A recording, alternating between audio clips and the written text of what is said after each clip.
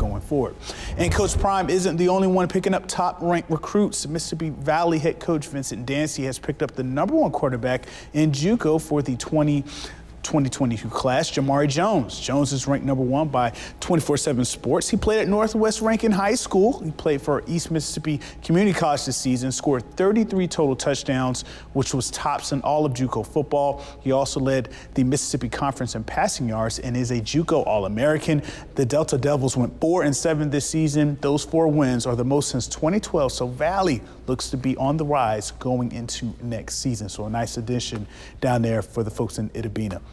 All right, that's all I have for sports. I'll send it back to you, Keegan.